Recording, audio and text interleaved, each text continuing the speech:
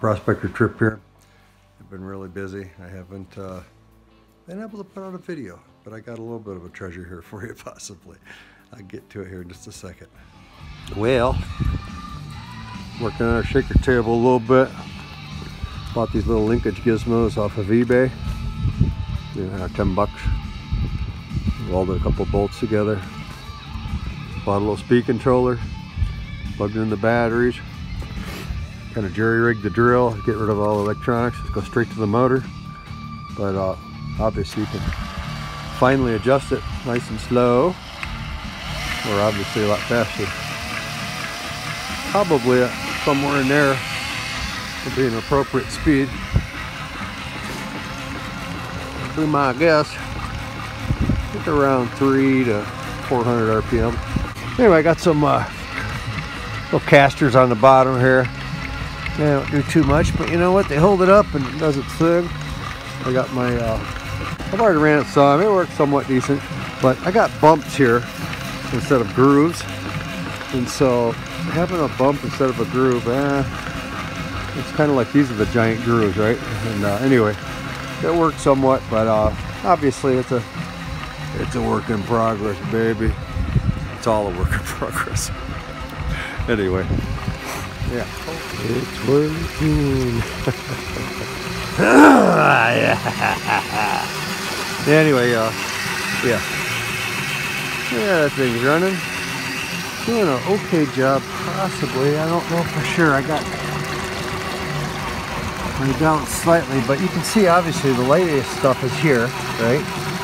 And then this is like the middlings where it's heavier than the lightest stuff, the kind of tannier looking material. But up here, we got a little bit of the heaviest stuff.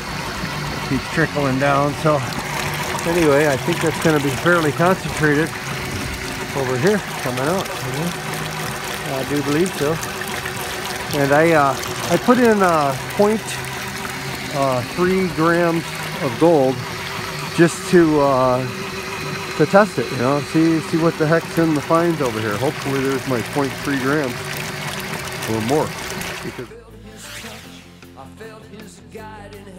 three grams or more because this uh, material should have a little bit of gold in it. Just a tiny bit, but uh, nevertheless some.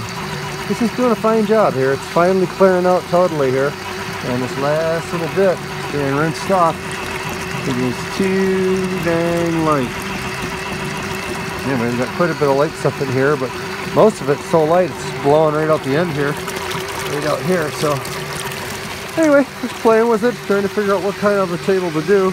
Obviously this surface here is just a rubber mat, so I can literally, you know, uh, pull off the red strips, take off the tape, and this little piece I put on, and uh, put something completely over it, which I plan on doing uh, once I figure out what I'm doing.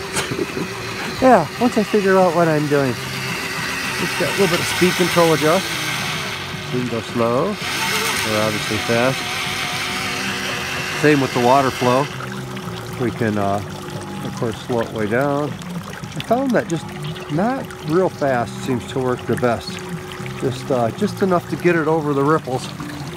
And uh, it's amazing how the shaking action works compared to no shaking. As you can see, this material here is just sitting like a lump now, right? But uh, let me turn up the squishy more.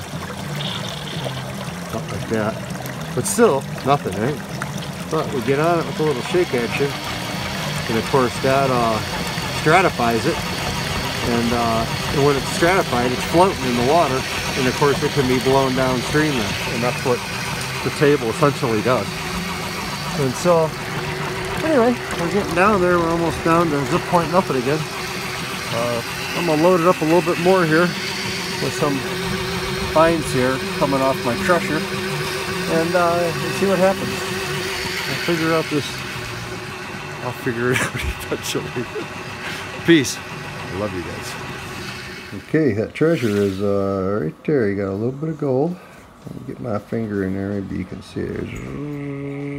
Right there, a little bit, a little bit there. A couple little tiny, tiny specks there. And then, woo, we got a little more up here.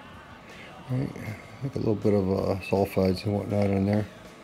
but uh, clearly um, some specks of gold or I don't know, several of colors. This is out of that material that I got from that mine that I'm trying to do a mine survey on, but uh, it's uh, it's a lot of work. It's a lot of work getting that. Uh, that's just that's not very much material, so I'm encouraged by that, and uh, I might have to get myself a uh, uh, a jaw crusher because this stuff's killing my my little chain mill. The one that I could say it could break titanium, yeah, it just breaks. It busts my Lovejoy connections like crazy. But that ain't bad. That ain't too bad all in all. Pretty happy. God bless. That's just a little bit of material. I got about 200 pounds to figure out, so bye-bye.